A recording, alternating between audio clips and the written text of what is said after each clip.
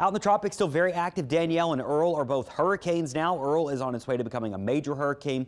Two other tropical waves to watch, but Earl's moving to the north, gusting to 100 miles an hour. It's expected to become our first major hurricane as it passes near Bermuda late Thursday into early Friday, and then it stays far away from the U.S. These two tropical waves, this leading one is expected to maybe become Fiona in the next couple of days, and it's going to pull out into the Atlantic, get some wind shear and tear it apart. This tropical wave just now coming off the continent of Africa, so we got plenty of time to watch it. It's not a threat to anyone right now, but we'll keep an eye on it to make sure it doesn't want to venture across the Atlantic there, but uh, no reason to really worry about it right now. Fiona is the next name, and then Gaston. Got some movie characters there, it looks like, over the next couple of names.